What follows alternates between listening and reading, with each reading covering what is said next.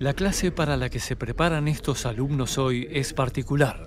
Ellos tienen más conocimiento y una experiencia más directa que el profesor sobre el tema, la paz en Colombia. Ellos me dicen, no hay paz, profe. No hay paz porque en mi casa yo no puedo volver. No hay paz porque mataron a mi papá.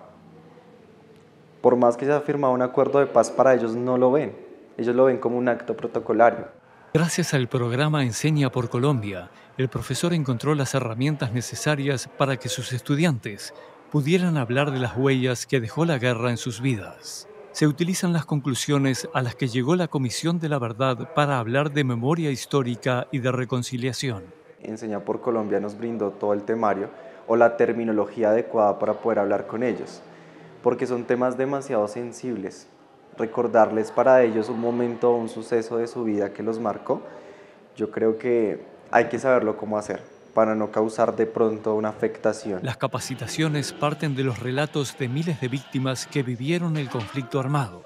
Para ellas y para los estudiantes del profesor Michael, la guerra era lo cotidiano. Ya es normal que ellos vivan acá, es normal que se recluten, es normal que maten a la gente, es normal uno...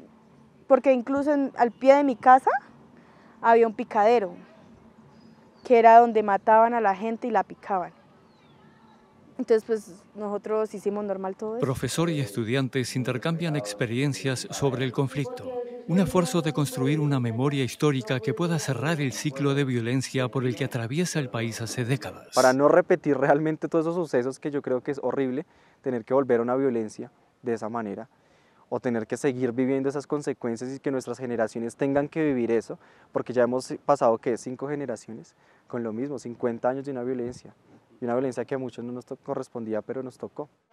Más de 450 profesores del país participan del proyecto, que permite construir en las aulas espacios seguros donde compartir ideas sobre el conflicto, la reconciliación y la paz. Es que los niños, entre más jóvenes son, menos prejuicios tienen ese es el momento para transformar la narrativa del odio en, la narrativa de la celebración de la diversidad. Entonces sí, pues la historia de la paz es la historia de cómo construimos memoria desde la empatía, pero, pero también sin ingenuidad, como con el reconocimiento de pasaron cosas dolorosas y necesitamos hacer ese duelo colectivo para poder avanzar. El programa cuenta con el respaldo de UNICEF y el apoyo financiero de la Embajada de Alemania.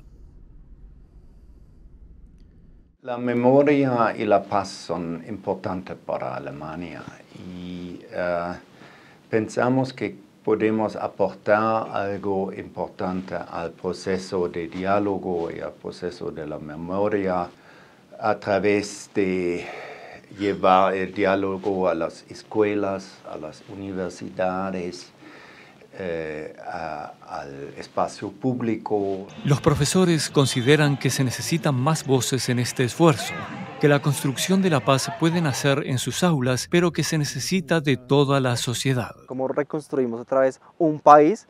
¿sí? De hablar de una nueva Colombia, pero cómo construimos esa nueva Colombia si simplemente lo hablan unos pocos, o si está en tendencia se habla, o si sale en TikTok se habla, y si no, no, no importa. El profesor continúa su clase esperando que al escuchar sus propias historias y reflexionar sobre los motivos del conflicto armado, sus estudiantes encuentren la salida a la oscuridad en la que Colombia lleva las últimas décadas.